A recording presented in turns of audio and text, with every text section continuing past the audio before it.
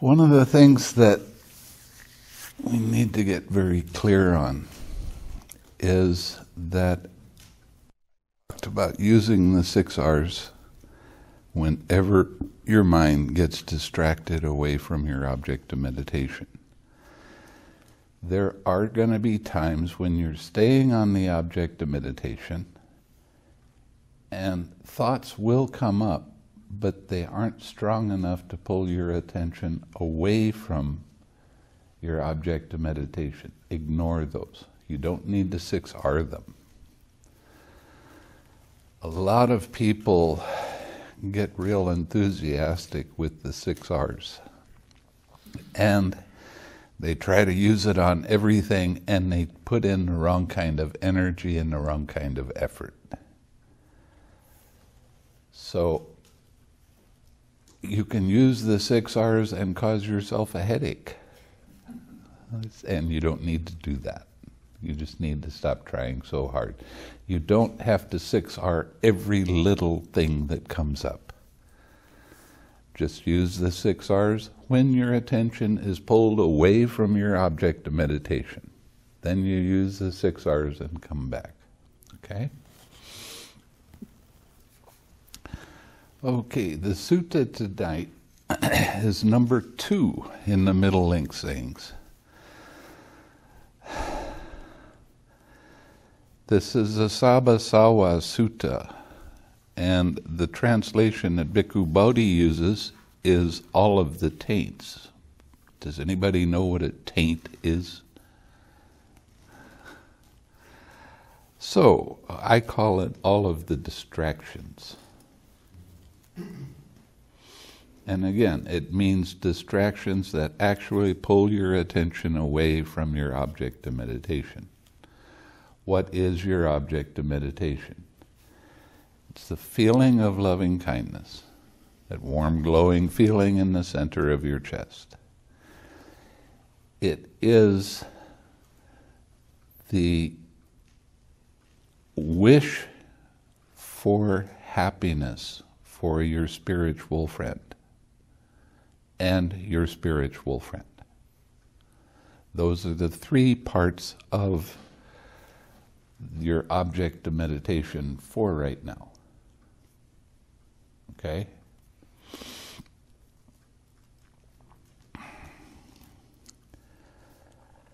So,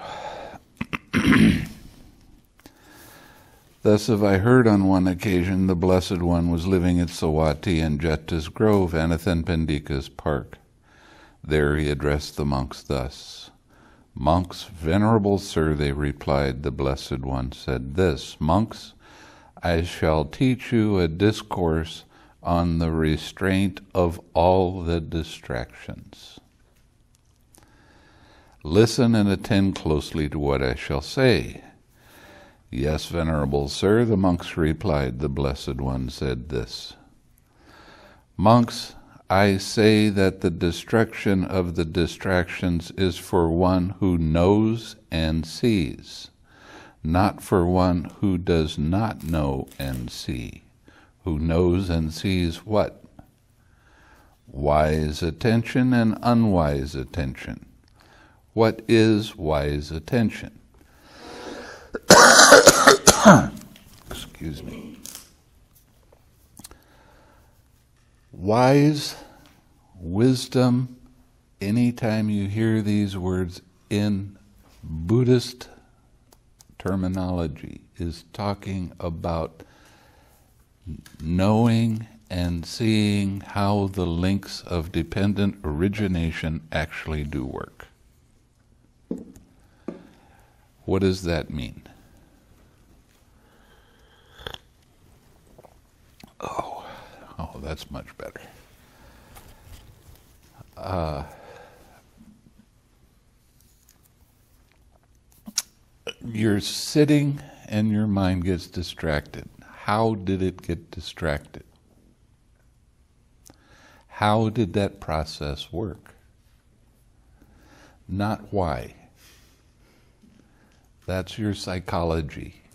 You can you can play with psychology all you want, except on this retreat. This is we want to know the cause and effect of everything. How does it work? When a feeling arises, it's either pleasant or painful, or neither painful nor pleasant.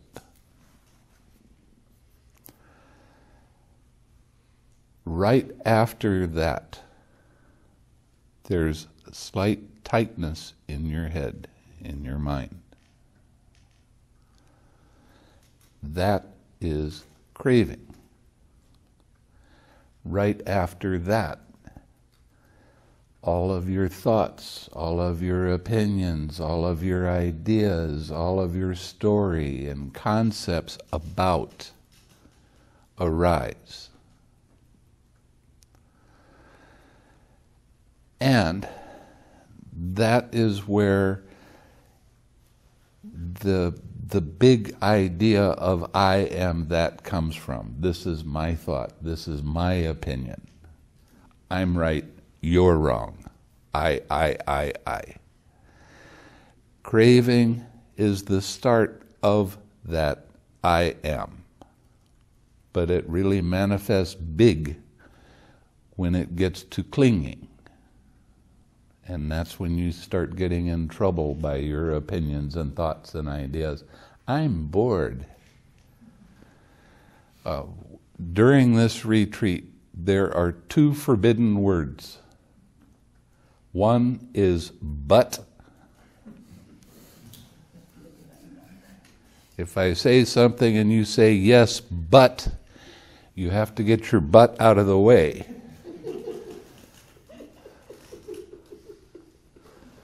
And the other one is, I'm bored. I'm bored. There's nothing happening. Who's bored? Whose mindfulness slipped? Who doesn't see that as a distraction, a personal distraction? Who wants some excitement to happen? So I don't want to hear those words. Okay? I had a, uh, what was he, Bangladesh? Yeah. Yeah, Bangladesh student came a couple of weeks ago, and he just wanted to ask every question in the world. And he would ask me something, I'd give him an answer, and he'd go, but, but, but. I, said, you got to go practice. You can't give me this kind of, do that kind of stuff. All of your questions will disappear as you practice. But he wanted just to have intellectual excitement. Now, after, right after clinging, I used to call this next step habitual tendency. But now I, I ran across a different word. I think it describes it better. And I call it habitual behavior. This is where, and the Pali word is bhava for anybody that really wants to know. Uh, this is where your old habitual behavior comes into play. When I have this kind of feeling arise, I always treat it that way. And I always try to control my thoughts and feelings. And I cause myself more and more pain. This is the emotional part of dependent origination. So, right after that, you have the birth of action. Right after that, you have sorrow, lamentation, pain, grief, and despair. In other words, your mindfulness was very weak and you got caught up in this process without recognizing how it worked. You got caught up so much that you say that it's you, it's yours. This is who I am. And the truth is, that has nothing to do with reality. So, when your mindfulness gets good, now I have suggested that I want you all to smile. I haven't been around because my body is giving me some fits right now. I haven't been around to see how much you're actually smiling, but some of you are not. And you're walking around with dark, deep lines here, thinking, thinking, thinking. We'll get to a sutta about that called mental proliferation. And you think, well, he just means once in a while. And I don't. I mean all the time. What's the idea of smiling like that? Your mind is light. Your mind is very alert and it's very easy to catch thoughts when they start pulling you down. And you start seeing the attachments of that. What is attachment? I am that. That is craving. In many of the suttas, the Buddha talks about wise attention. And a lot of the people that are teaching Buddhism are using conventional definitions for Buddhist terms. And we have to understand that our uh, Buddhist terms come from another language. And they have very, very specific definitions. So, what we have to do is learn the definitions that the Buddha was talking about. Now, I have, I have lots and lots of dictionaries, I have lots and lots of thesauruses, and when I say lots, five or six of each one, and I get, get one word that Bhikkhu Bodhi decided to use, and it's not quite what the Buddha was talking about. And I might go through all of those books to find something that's closer. So when you hear the word wisdom or wise, the actual definition is how the links work. That is how you develop your wisdom. By seeing this process. Now, when your mindfulness is good, mindfulness is remembering to observe how mind's attention moves from one thing to another. Now, people hear that definition and they like it and they don't realize how truly deep I'm talking. Because I'm talking about the links of dependent origination. How did it move? How did that come up? What happened after that? What happened after that? So, when your mindfulness is good and you begin to see a feeling just start to arise,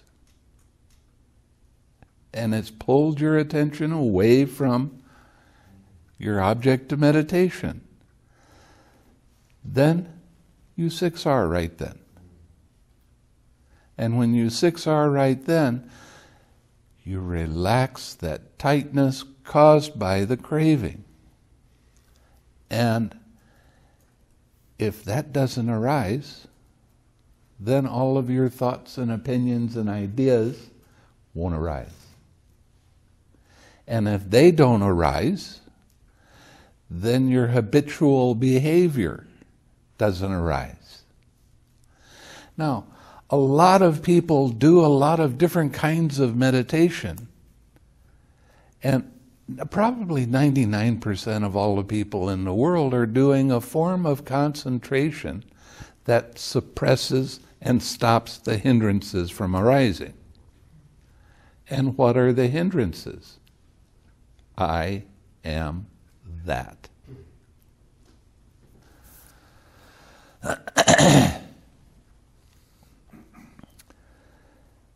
and then they they have uh, this is a phenomena that happens with absorption concentration. They have this kind of a blackout.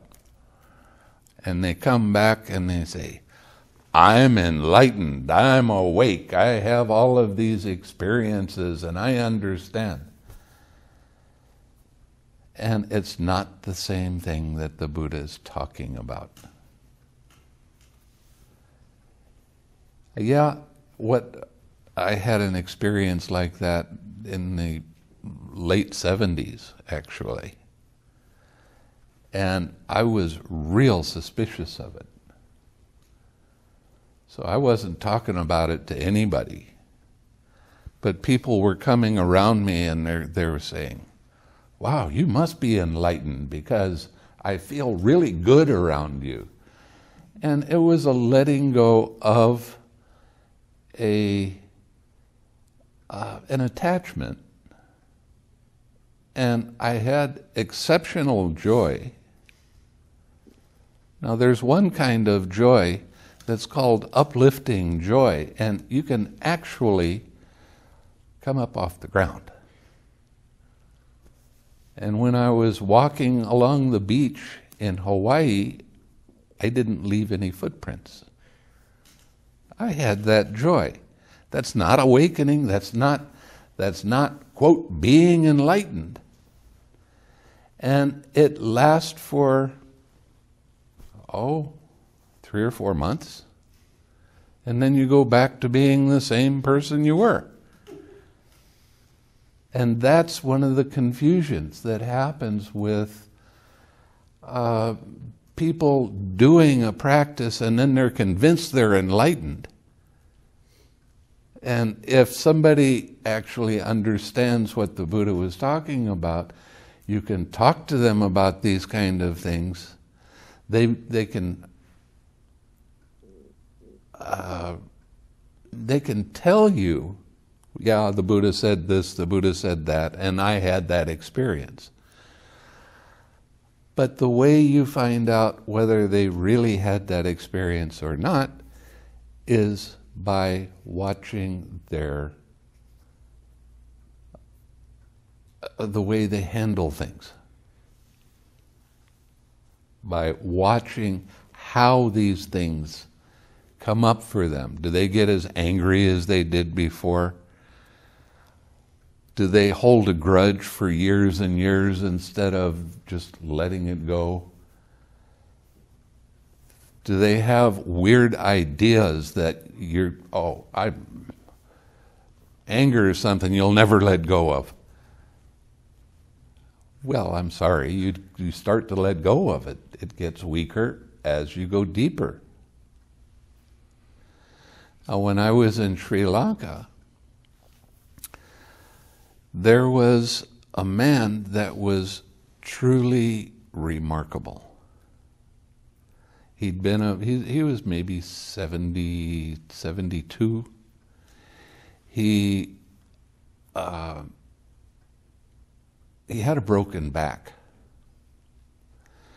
And he was sitting in meditation with a board down his, down his back and it was taped on.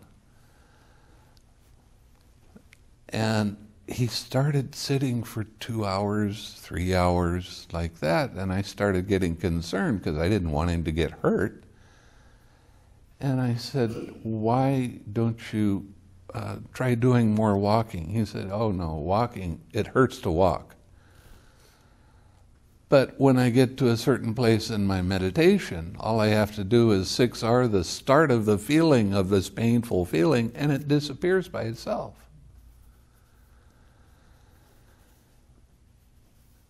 He was doing a non residential meditation.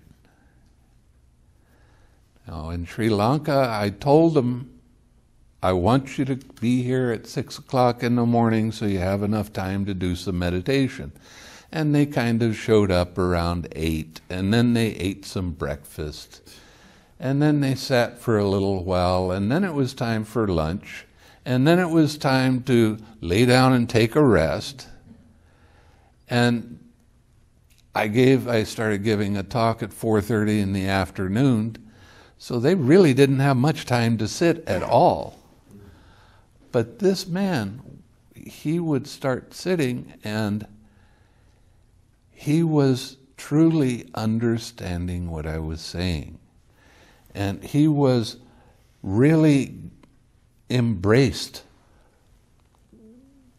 whenever his mind got distracted. He went so deep, so fast, that I had real trouble keeping up with him.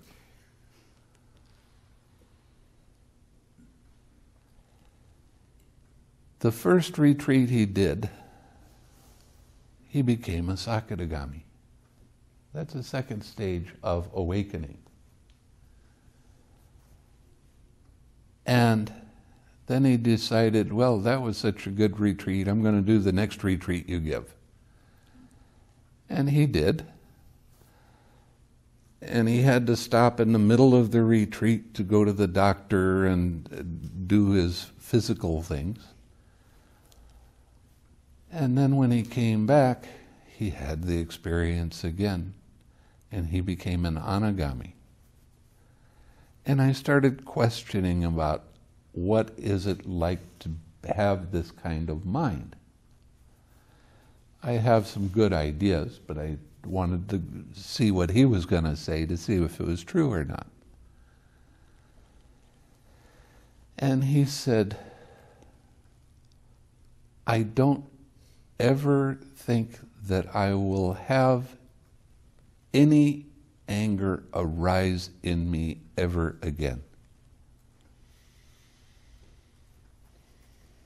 No upset. Now that's pretty impressive.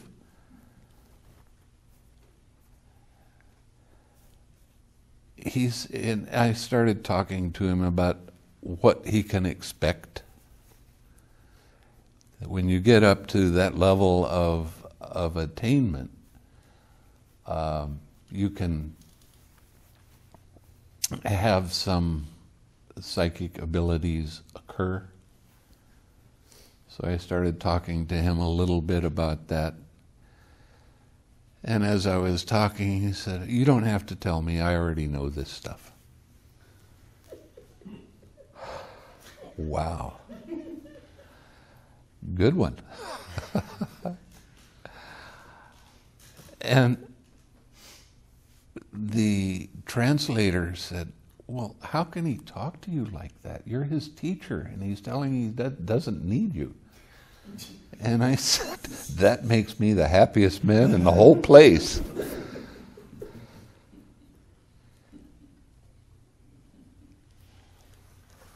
Now, the thing with attaining Nibbana is being very attentive and using the six R's,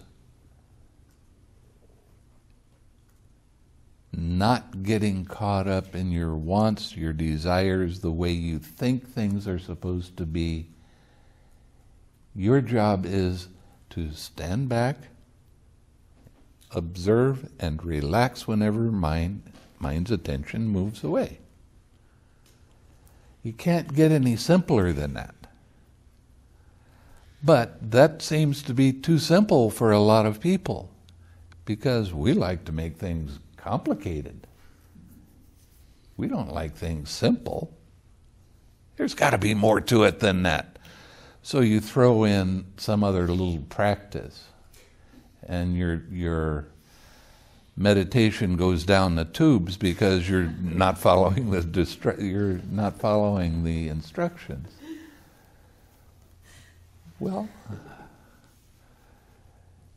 it's real important that any kind of little distraction that begins to arise, to see it and let it be. Now, I don't care if it's an emotional distraction or a physical distraction. I don't care. They're basically the same thing. Mind is a forerunner of all states. Have you heard that before? You're supposed to be repeating it every morning. Well, guess what? It is. So when you see a disturbance and it's starting to pull your attention away, you don't have to jump on it and try to beat it down. You just have to notice it and relax into it. One of the things that happens when they start practicing meditation is people will get to a certain place in their meditation and they expect it to be like that. And then when it's not like that, they start putting in too much energy.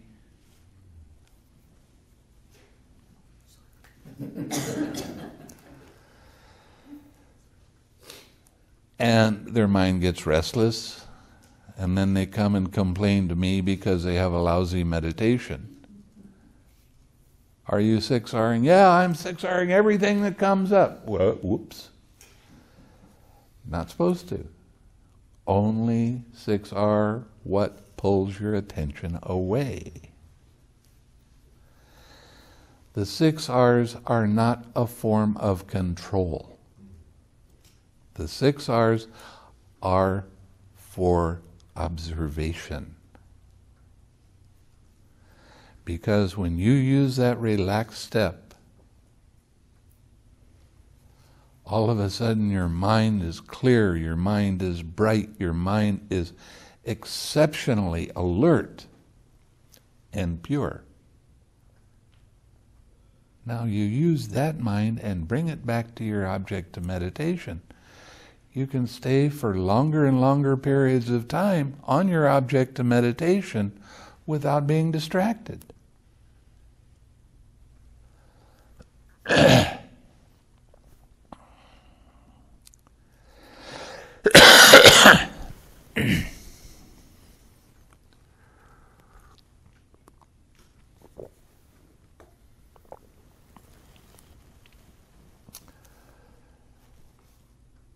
So I want, I want to explain a difference between the kind of meditation I'm showing you right now and other kinds of meditation. And there's only one little tiny difference, and it makes all the difference in the world. When you're practicing other forms of meditation, I don't care whether it's vipassana or some kind of absorption concentration. I don't care. What you do is this your mind is on your object of meditation, gets distracted. If you're practicing vipassana, you note it until it goes away. Or if you're practicing a one pointed concentration, you let it go and immediately come back to your object of meditation. The effect of doing meditation in this way is that the force of the concentration gets so strong that it suppresses the hindrances. Why does it do that? Because you're bringing the craving back to your object of meditation. You're not letting it go. And the Buddha, in many of the suttas, he talks very often about letting go of craving and ignorance. Now, one of the things that a lot of people don't really understand is ignorance is ignoring how the Four Noble Truths work. In each link of dependent origination. A lot of people, they think Four Noble Truths, yeah, yeah, yeah, I know the Four Noble Truths. Then, and they're just general, they're not anything specific, and they are very specific. And you get a chance to see how the Four Noble Truths are in each link as your mind starts to calm down. So, when you have s- strong concentration, your hindrances won't arise. Your hindrances are where your attachments are. When the hindrances don't arise, you don't get to see dependent origination very clearly.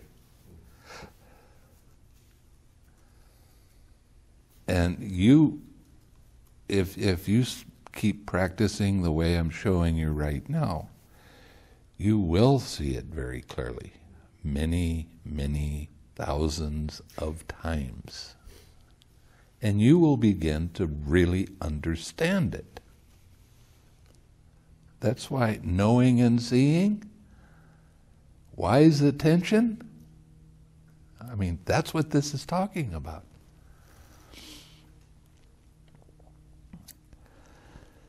So it's a real interesting thing that the only difference between what I'm showing you right now and what everybody else is doing is adding this extra step of letting go of craving. It doesn't suppress the hindrances. Hindrances are going to come up when your mindfulness gets weak. Good. That's showing you a lesson. And you're starting to recognize ah, when this kind of feeling comes up, I always do it this way. Now you start relaxing into it and you start letting go of the hindrance, and then you have true personality development. This is for real. This is not something that's uh, just, yeah, yeah, yeah, I heard all of that before. Your mind starts to get a sense of balance in it you don't have the hindrances arise so strongly.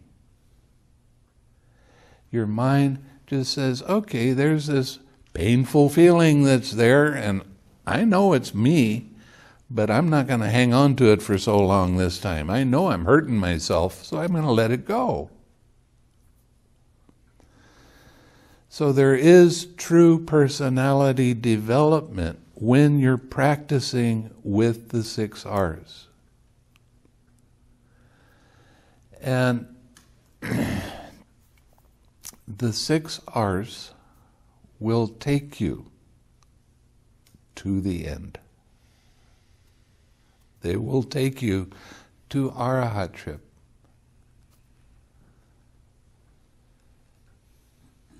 It really works this way because all of those little fetters all have some kind of I am that attached to it. And how do you get rid of the I am that? Relax.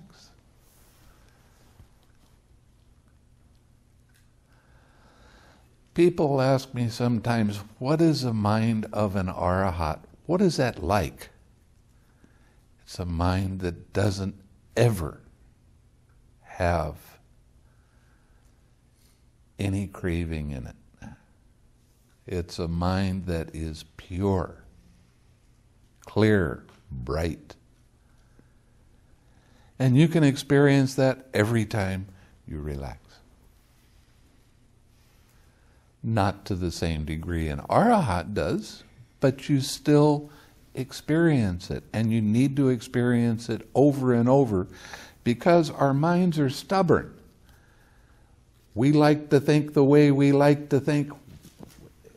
That's it. I'm right. Everybody else is wrong. Well, when you start 6Ring that and you start seeing the attachment that is involved with that and how much pain you cause yourself by acting that way, eventually your mind becomes so pure that it says, I don't want to do this anymore. I don't like that. It's painful. And who's causing that pain? Well, he did. He caused my pain. Whoops. We cause our own pain. We cause our own upset. Why? Because of lack of mindfulness and seeing how the process works. In other words, knowing by seeing is the way you develop wise attention.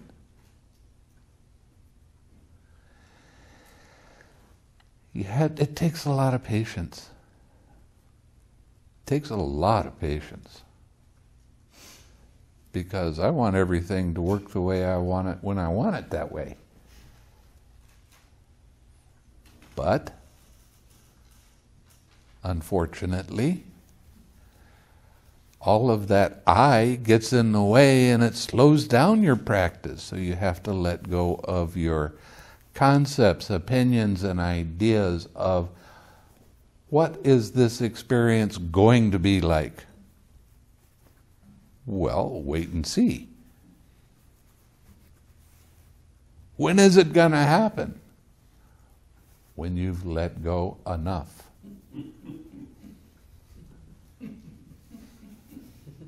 when you've stopped trying to think the awakening. Don't work. I guarantee it doesn't work.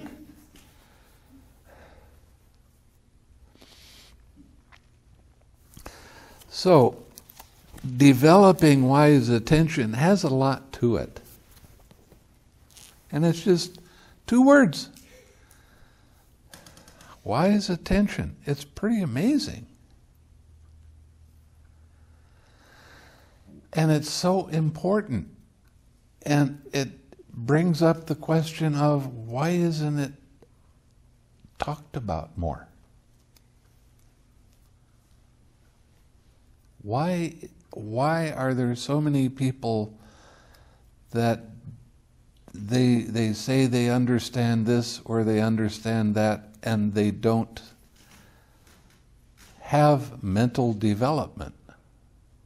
They stay the same. Well, I got enlightened.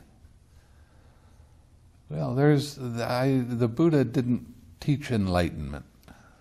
He taught that you become awake. In other words, stop walking around in the dream of the way you think things are supposed to be and see the way things actually are. It's just a process, and it's impersonal. There's no I in any of this stuff. It's not my process, it's just a process. So it gets easier as you start to calm down with your meditation. That's one of the reasons I want you to smile more because that helps this whole process become apparent. And it helps this whole process to develop more quickly. It really does work. So the more you can smile, keep your mind light, wish happiness, and stay with your spiritual friend, the easier the meditation becomes. But the minute you start to push, the minute you start to say, well, that was a good sitting, I want this sitting to be better, doesn't work. And it's just that subtle little desire. It's not, you don't even think you, it's, oh, it's not important. But that's the thing that will stop you from progressing. I want. Well, how much longer do I have to sit in meditation before I become a sotapanna? Stop wanting it. There are certain stages that you have to go through, and one of them is called dispassion. And dispassion means, I don't care, it's all the same anyway. It's that kind of mind. Whatever is going to happen, it really doesn't matter.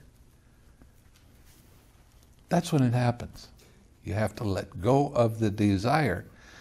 And the thing that's odd is at first you have to have the desire to let go of the desire. you have to want it, or else you're not going to do it. But then, as you see that, you start taking away like onion layers and before long, there's no more layers. It's just empty. There it is. Now, there, there was a lot of people in both Sri Lanka and Indonesia that were very successful with their meditation. And the biggest complaint I got after they have this experience, and I talk with it about them for a little while, and then they, they say, Are you sure this is right? Is this all? now, what we've heard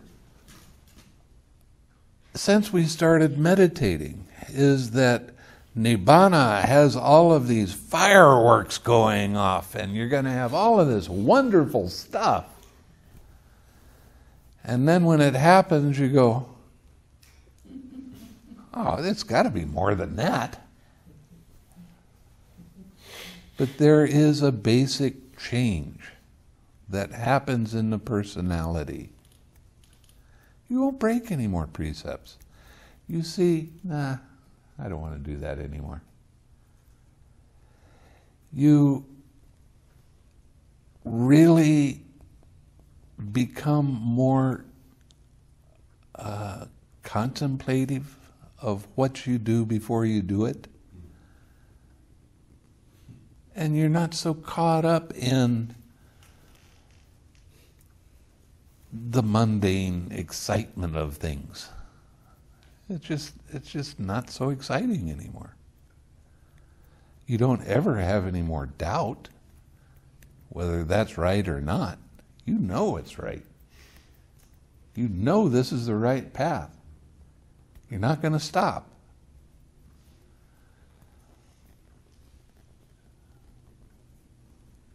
You don't have any really, really strong belief that things that are happening are yours personally. It fades away. And that leads to being very content even in an exciting world where this is happening and that's happening, and oh my God, I haven't got enough time to do this or that. And your mind will just say, oh, let's just settle down here, we'll get things done. And there, therein lies the personality development. But when people are practicing other forms of meditation, they're very peaceful and calm when they do the practice. Right after they get out of it, they're peaceful and calm for a little while. And then they get attacked by all of these hindrances and they're back in the fray again. Oh, I've been doing meditation for a long time. It's disgusting how long I've been doing it. I'm a slow learner.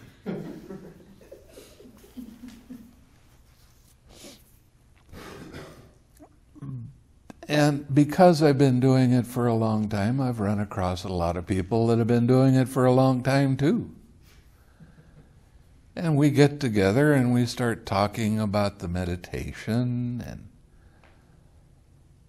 well, you're going to do a meditation retreat this year? Yeah, I always do a meditation retreat once a year. Do you have any progress? Nah. I just go there to mellow out for a little bit. What's the point? And the attachment that happens with my way is right is pretty remarkable. One of the things that, uh, when I was going through the awakening factors, it dawned on me that we need a couple more. We need a couple more awakening factors. The first one has to be curiosity. If it's not working this year, and it didn't work last year, and it didn't work the year before, why are you going to do it again? be curious enough to try something a little bit different to see what happens.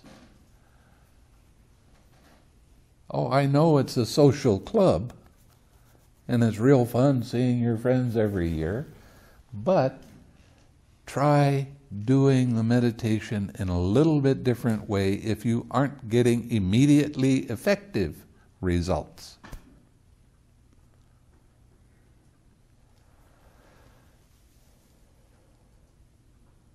the one of the qualities of the Dhamma that the Buddha spoke about was called akaliko. Akaliko means the Dhamma is immediately effective. Every time you 6R, you are seeing it be immediately effective. And I did 20 years of it not being immediately effective. Slow learner. But when you let go of craving and you have that mind that's clear and bright without any distractions, and you bring that back to your object of meditation.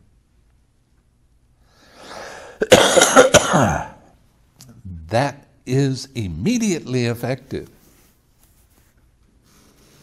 And there is real relief in that. It's not a huge relief, but over a period of time, it turns into a huge relief.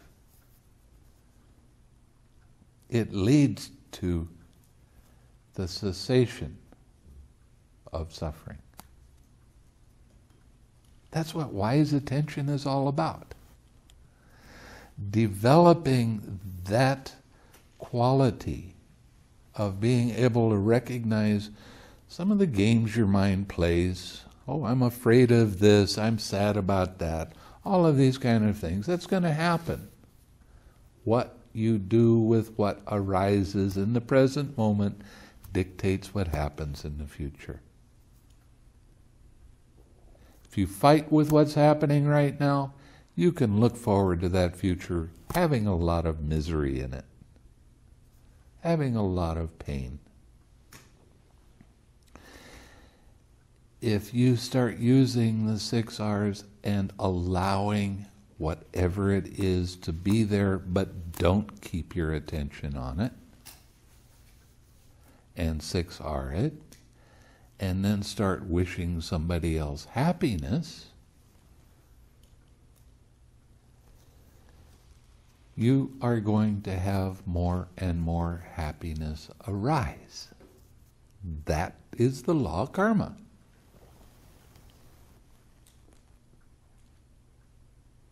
It really works that way.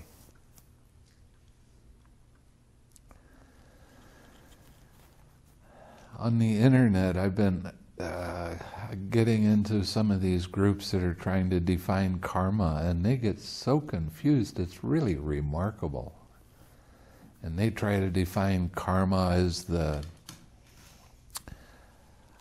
why karmically are we all in this room right now? Uh, that doesn't matter. you don't you don't get into karma that way. You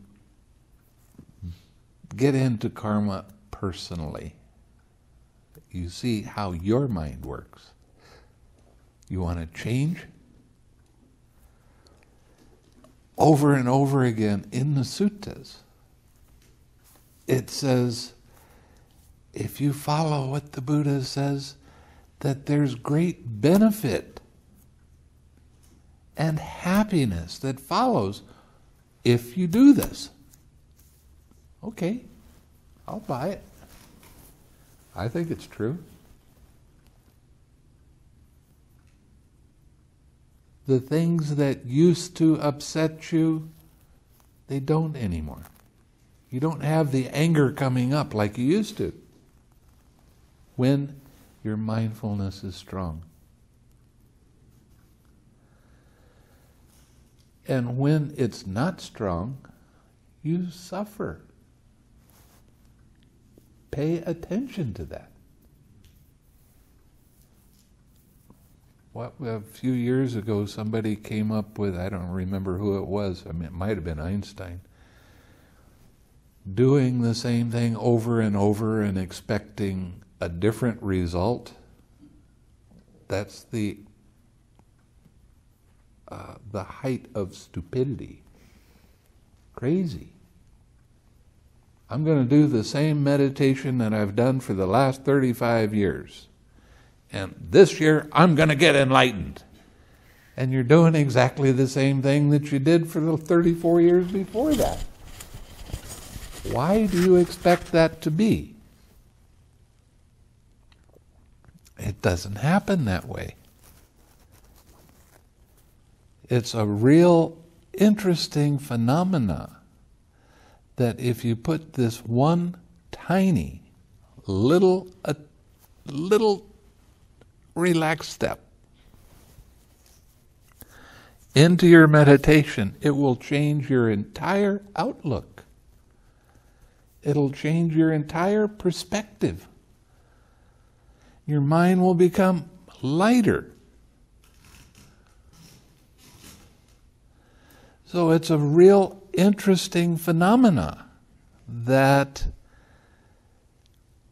people become so attached and they expect to be enlightened any day now because I've been doing this for so long.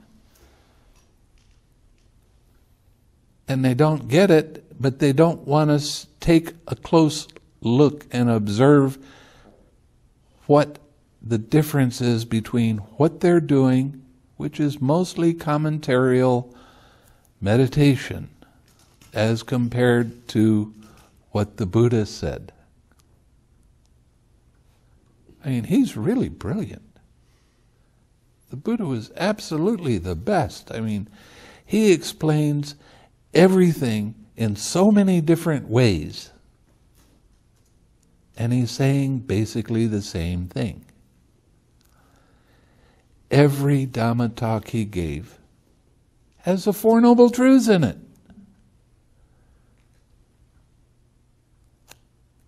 But do you realize that? It doesn't seem that way. You have to look a little bit more deeply. You have to understand the importance of some of the simple instructions that he gave. That's one of the reasons that it's so hard to follow because it's too easy. The Sri Lankans, they were complaining. Now, the, the Buddha said this, the Buddha said that. Yeah, just relax and do what I'm showing you. And after three or four days,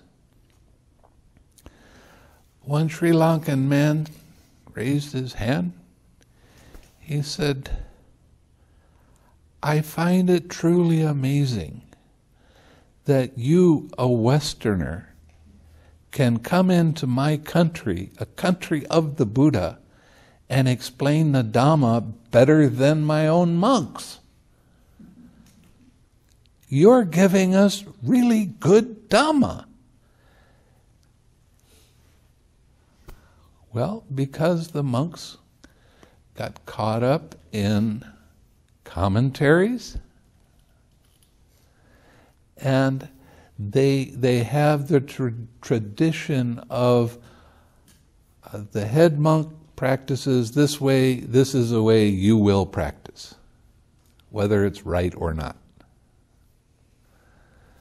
And then they get to be the head monk and they, it just carries on on as tradition without any true inspection true observation of what are the results of this? How is that working? Those are questions you have to ask yourself. Uh, a little while ago, I said the I wanted to add two more factors to the awakening factor. The first one is curiosity. The second one is persistence. You have to try it if it's a different kind of practice than you've ever done before and you think that this will work, try it for one year. Don't try it for one sitting and say it don't work. Try it for one year. If it doesn't work after a year, if you don't feel benefit from it after a year, then do something else. But you have to give yourself some time.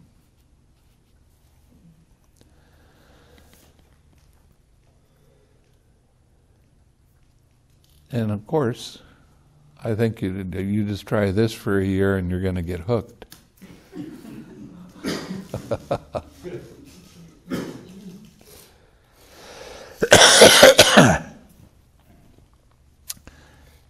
And I do get criticized quite a bit. I'm a I'm a controversial monk.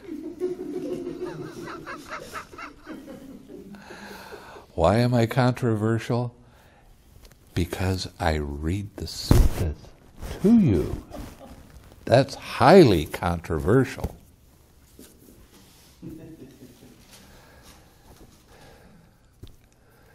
So,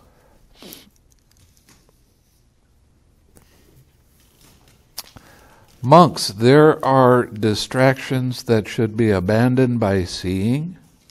There are distractions that should be abandoned by restraining. There are d- distractions that should be abandoned by using. There are distractions that should be abandoned by enduring. There are distractions that should be abandoned by removing. There are distractions that should be abandoned by developing. now, the, in this particular sutta, the Buddha goes through every possible kind of distraction that anybody can have. And when he says some things you do by using, some things you do by enduring. By enduring, it means cold weather, or hot weather, or mosquitoes, or those kind of distractions. Sometimes you have to endure that, especially as a monk. So. Distractions to be abandoned by seeing. What distractions monks should be abandoned by seeing? Here, monks, an untaught ordinary person who has no regard for noble ones and is unskilled and undisciplined in their Dhamma, who has no regard for true men. True men. What is a true man?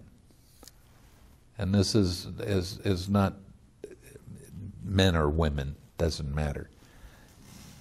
What, is, what does that mean?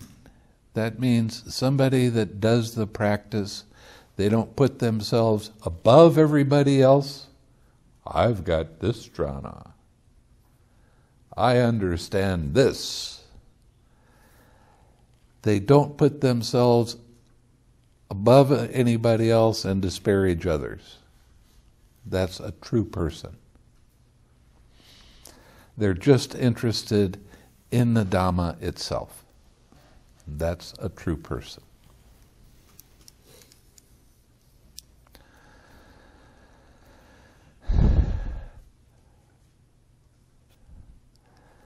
Uh, who has no regard for true men and is unskilled and undisciplined in their Dhamma, does not understand what things are fit for attention and what things are unfit for attention.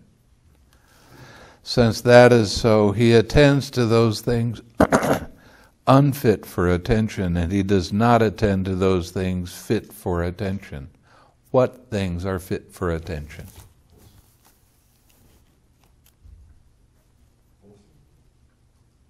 I can't hear you. Wholesome. Wholesome. That's pretty good. Distractions. Your object of meditation.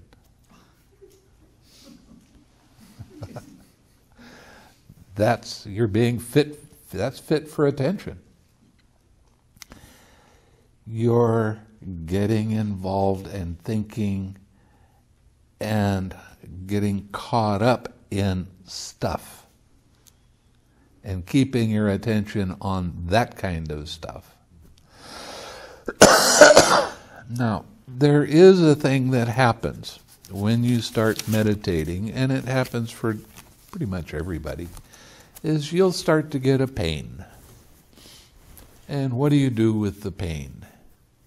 Boy, I wish that would stop. God, I hate that when it's like that.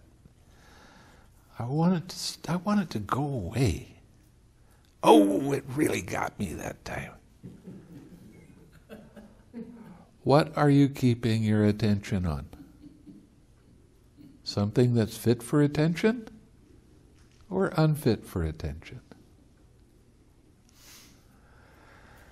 If you keep your attention on any kind of distraction, you are feeding that distraction, and because you're feeding it, it gets bigger and more intense. What are you feeding it with? Your thoughts, your craving, your clinging, your habitual behavior. And how much pain do you cause yourself because of that? Now, people have this idea well, if I don't keep my attention on it, then it's going to go away and bother me, not bother me anymore. Well, not necessarily. Might stay there for a long time. Good. Your attention goes to it, you six R it. Let it be there without trying to change it, without trying to make it any different than it actually is. And come back to your object of meditation. If it keeps doing that, it is pulling your attention away again and again and again and again. That's great. That doesn't mean that your meditation is bad, it just means that you have a painful feeling and it keeps pulling your attention away. What do you do with that when that occurs? You use your six R's, you improve your mindfulness every time you let things be and relax and come back. And the pain might not go away, but your mind will become so balanced with equanimity that it doesn't pull your attention to it anymore.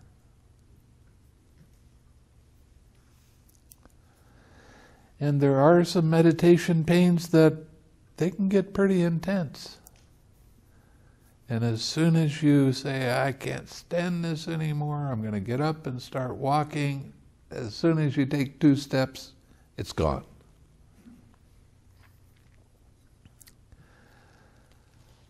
Well, that's part of your lesson right there. And I don't want you sitting with pain that's real. That when you get up and the pain doesn't go away, don't sit like that again. Don't cause yourself problems. One of the physical problems I have was because I followed my meditation teacher and did exactly what he said, the way he said to do it, and now for the last uh, this 22 years, I have bad ankles because he told me to continue sitting. I don't care if it hurts. And it wasn't done in a natural way. I have students that sit for long periods of time. And in Sri Lanka, there was one boy. He, I'd see him in the morning, about breakfast time, and then I wouldn't see him until it was time for an interview. And I kept on asking, Where'd you go? He said, Well, I was sitting. How long did you sit? Well, I would have kept sitting longer, but somebody came and got me. Uh, it was only five and a half hours. Why are you sitting so long? Because it feels good. My mind is really balanced. But that's natural. When you try to force, that's when you run into problems.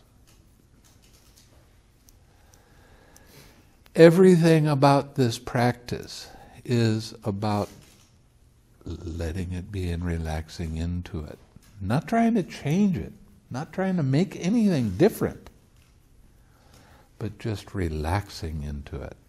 Saying, okay, you're there, fine. You can be there. No resistance. Don't resist or push. Soften and smile.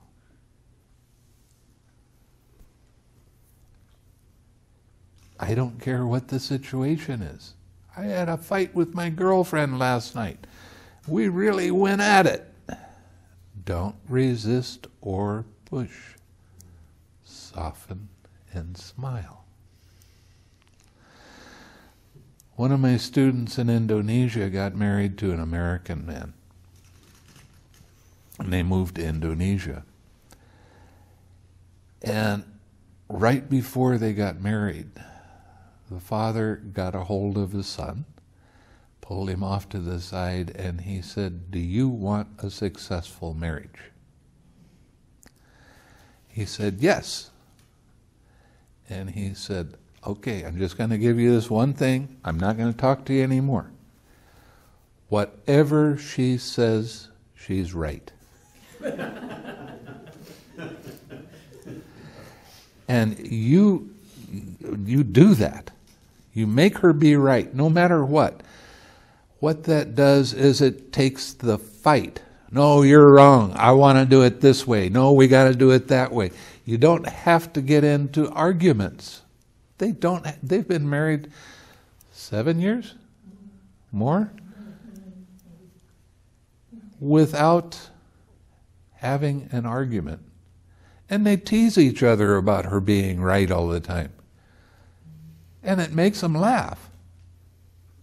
But it keeps balance in their life because they're letting go of the attachment of, I'm right and you're wrong.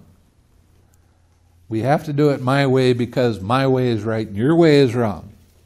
Well, if there's only one person doing that, there's no fight. Say, okay, you're right. You can be right. No attachments here. It's all opinion anyway. What difference does it make? We'll see if you were right this time or not. But then they wind up discussing things in a calm way without the attachment of, oh, you're always like that. You always do that. You always act this way and it drives me crazy. There is no, none of that in their relationship. Because she's right.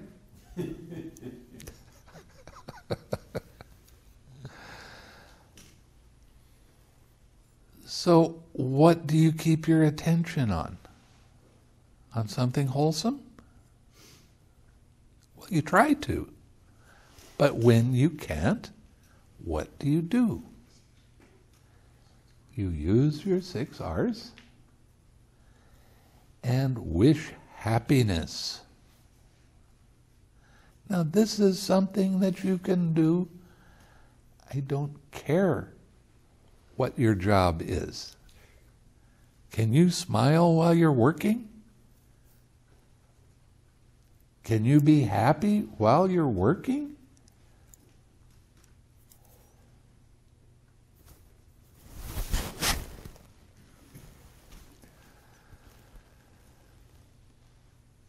It's a real interesting thing how much more efficient you become when you start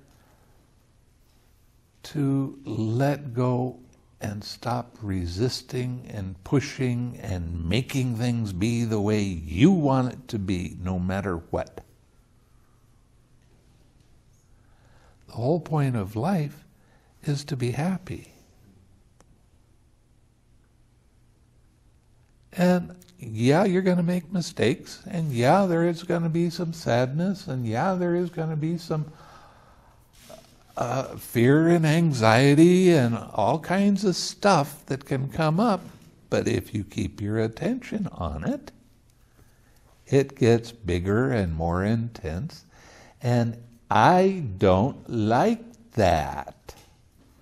I want this to stop. I want this to go away. Every thought about it makes it bigger and more intense. What you think and ponder on, that's the inclination of your mind. You think and ponder on fear or anxiety or sadness, what's your mind going to tend to? Fear or anxiety or sadness. But when you use the six R's and you come back with your object of meditation, and sometimes your object of meditation with your daily activities is just smiling and wishing other, others happiness. This is something you carry with you all the time. And this is something that's being missed by a lot of people that are practicing meditation. Their meditation time is their time of bliss. And then when they get out of the meditation, that's their time for getting caught in all the other hindrances that they've been pushing down. So there's no real personality development.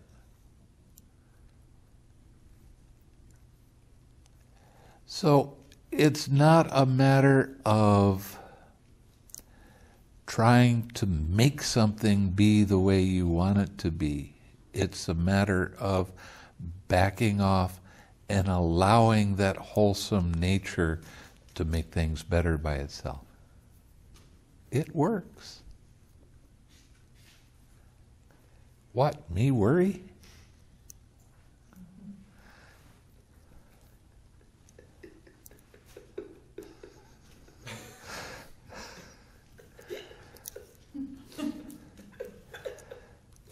So, it's a real interesting phenomena that you you keep your mind on the wholesome. Everything in your life becomes easier. Everything.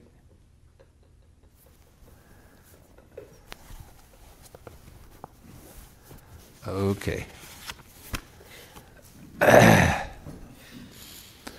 What are the things unfit for attention that he attends to?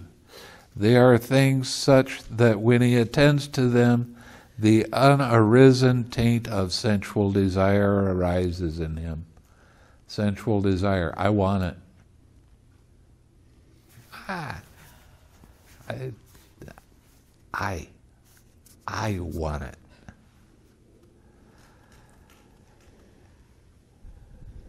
The unarisen uh, desire increases. So that just goes back to what I said from another sutta. What you think and ponder on, that's the inclination of your mind. You think about wanting something and getting caught up in trying to make it happen instead of backing off and allowing things to happen. You keep your mind on the wholesome. All you have to do is point your mind on uh, let's let's see if we can do this. I mean, my my whole life, I wanted to travel around the world. Do I think about traveling around the world? Not at all. Do I ponder on it? Not at all. Do I do it? Yep. Last year I went over 40,000 miles. I went to nine or ten different countries. It was great fun. Of course, I'm working the whole time, but I'm kind of uh, Dhamma is not really work, it's joy. And the real joy is seeing how people start to change and how they start to interact with their family and how different they become. That's, that's the real joy of helping people understand what the Buddha was trying to get across. And again, I have an awful lot of people that will come to me and say, The Buddha never said you're supposed to smile. Show me in the sutta where it says you're supposed to smile. Well, what is joy? It's one of the awakening factors. What's the expression of joy?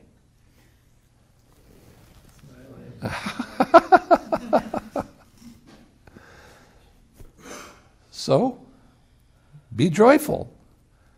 Don't smile, be joyful.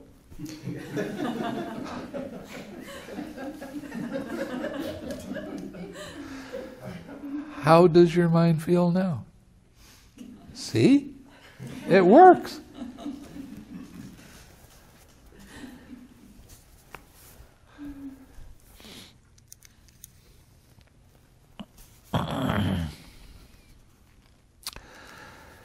Okay. The unarisen taint of ignorance arises in him, and the arisen taint of ignorance increases. So we're talking about lust. We're talking about your habitual behavior. And we're talking about ignorance in this particular sutta, and these are considered distractions.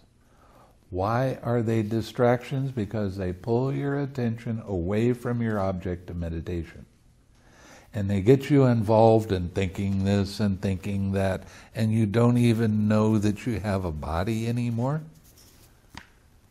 Because you get so caught up in your mental gymnastics.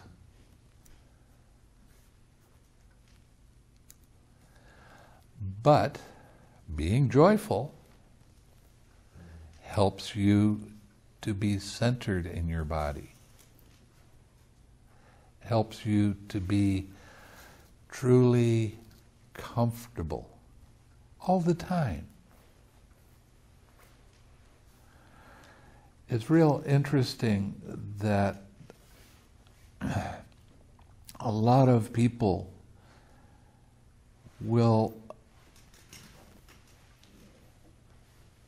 tell me that you really have a lot of balance in your mind. And this happened in Sri Lanka. A lady came up, she had all kinds of problems. She said, I feel more balanced because your balance is there. How do you do that? And I said, Do what? I don't know. I've been meditating for a long time. It happens. I don't even know I don't get excited about stuff very often. Sometimes I do.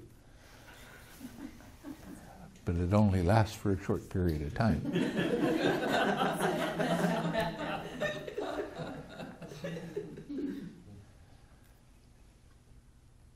but how do you affect the world around you? How do you want to affect the world around you? Do you want to affect the world around you so that it's in a state of frenzy and fear and anxiety and depression and all of those uh, unwholesome states? Or do you want to affect the world around you so you affect people positively? Well, meditation means being selfish.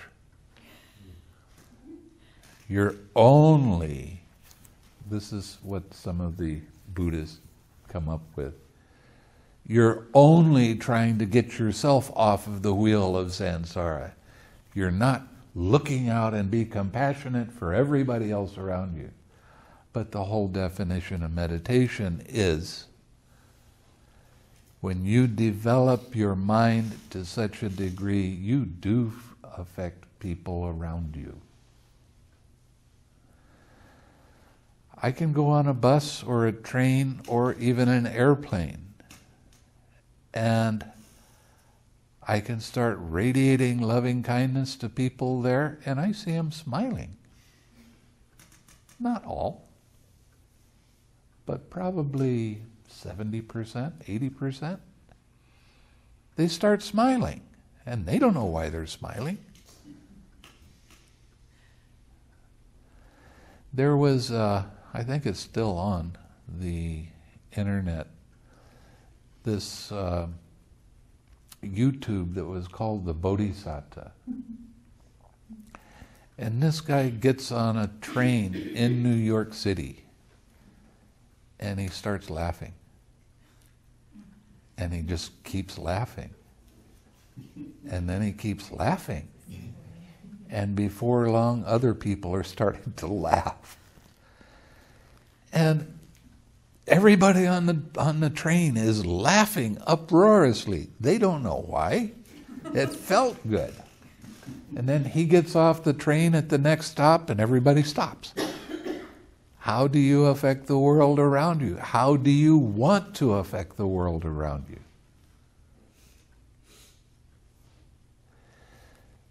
The more you remember to radiate loving kindness, to your spiritual friend, you're training your mind right now. It's not a selfish act, it is an act of generosity. And eventually, as you go deeper in your meditation, you will start to radiate loving kindness to all beings. And then you start seeing the miracles happen. You start seeing people that are upset all of a sudden become happy. It happens. I guarantee. Okay, I've been talking for a real long time, longer than I thought I would be. Uh, do you have any questions? You understanding the meditation and what you're doing? Let's share some merit then. May suffering ones be suffering free, and the fear struck fearless be. May the grieving shed all grief, and may all beings find relief. May all beings share this merit that we've thus acquired for the acquisition of all kinds of happiness. May beings inhabiting space and earth, devas and nagas of mighty power share this merit of ours May they long protect the Buddha's dispensation. Sadhu, sadhu, sadhu.